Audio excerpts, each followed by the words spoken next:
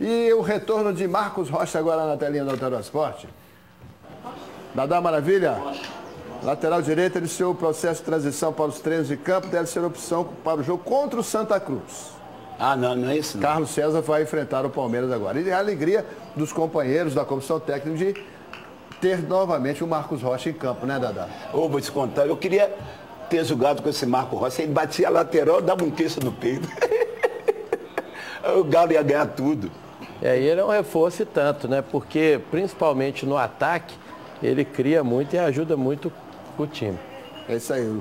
Marcos Rocha então se recuperando de lesão na coxa direita e também visando a, as finais da Copa do Brasil, né, Dadá? Com dia certeza. 23 de dia 30 contra o Grêmio é um jogador importante. Não, é muito importante. E eu, eu quero que a torcida do Atlético escute o que eu vou falar. Campeão, bicampeão da, da Copa do Brasil.